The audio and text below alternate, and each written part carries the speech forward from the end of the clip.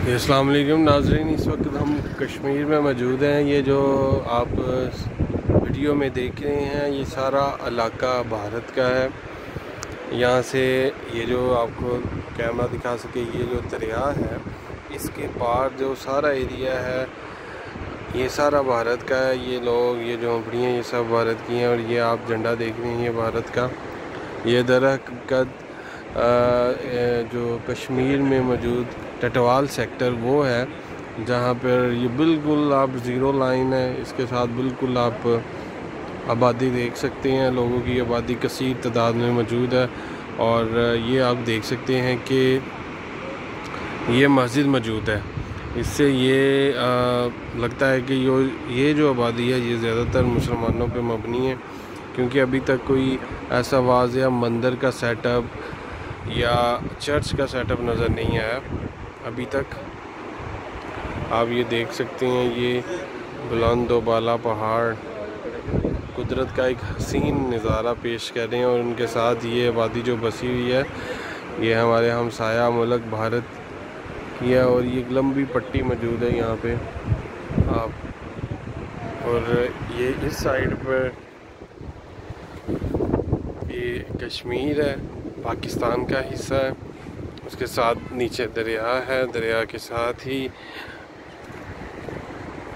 दूसरी आबादी शुरू हो जाती है। आप देख सकते हैं। ये सारी पट्टी भारत की है, जबकि पाकिस्तान की तरफ़, इस इस पाकिस्तान की तरफ़ जो या कोई आबादी नहीं है, क्योंकि यहाँ पर पहाड़ हैं। देख सकते और ये बिल्कुल सड़क का किनारा है। इसके बाद नीचे जो सिर्फ़ दरिया है। और ये दरिया पाकिस्तान और भारत में बॉर्डर का किरदार अदा कर रहा है। ये दर हकीकत टटवाल सेक्टर है। आपको दिखाएँ, ये उनका परचम लहरा रहा है वहाँ पर। और ये कैमरा दिखा सके तो कि लोग यहाँ पर फुटबॉल खेल रहे हैं। इसके साथ साथ काफ़ी आबादी यहाँ पर उनकी बसी हुई। आप देख सकते हैं लंबी कतार है। तकरीबन ये ऐसे ही चल रही है पीछे एक, एक किलोमीटर से शुरू हो रही है और आगे ऐसे ही है।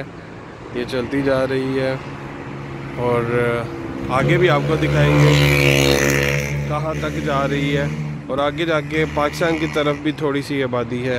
ये कश्मीर में मुजफ्फरबाद से आगे आके टटवाल सेक्टर है, जहाँ पर पार्टीशन हुई है, सिर्फ़ एक दरिया की वजह से। आप देख सकते हैं कि ये, यहाँ पे लोग अक्सर खड़े हो रहे हैं और खड़े होकर इंजॉय कर रहे हैं। इस तरफ़ का नज़ारा